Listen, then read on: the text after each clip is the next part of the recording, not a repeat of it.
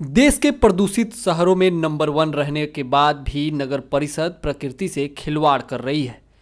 यहाँ प्रदूषण कम करने का उपाय खोजने के बजाय ज़िले को और प्रदूषित करने में कोई कमी नहीं छोड़ी जा रही है।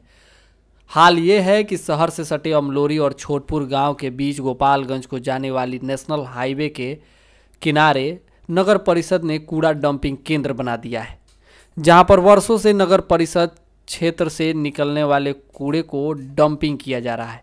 डंपिंग कूड़ा कचरा फेंकने के दौरान नेशनल हाईवे के किनारे लगे 30 से 40 पुराने हरे भरे पेड़ जल गए हैं। कूड़ा से निकलने वाले धुआँ से सिवान शहर और ग्रामीण क्षेत्रों की आबो हवा जहरीली हो गई है। साथ ही इस धुआँ से संक्रमित बीमारियों की बढ़ने की संभावनाएँ बढ़ गई हैं।